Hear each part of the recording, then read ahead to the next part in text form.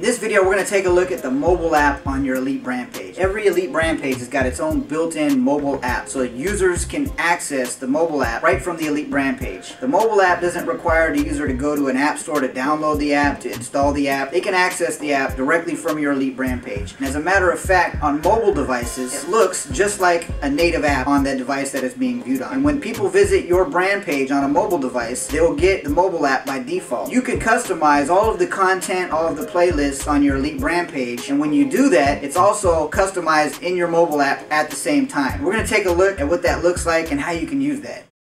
So the full screen mode can be accessed at any time just by clicking the launch full screen link at the top of your Elite brand page.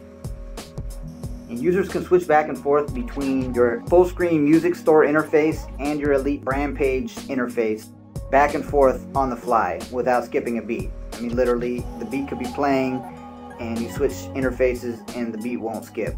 It's built right into your Elite brand page. And the coolest thing about the full screen interface is it looks like a native mobile app on the device devices being viewed on. So if you're on an Android phone, it looks like an Android phone app. And if you're on an iPhone, it looks like an iPhone app. And if you're on a Windows phone, it looks like a Windows phone app.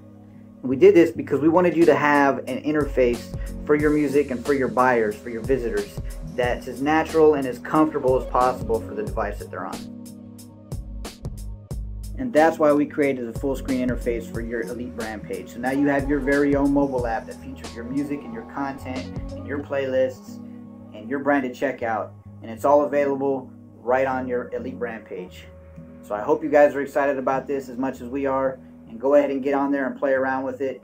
And we'll see you guys on Twitter and we'll see you on Facebook.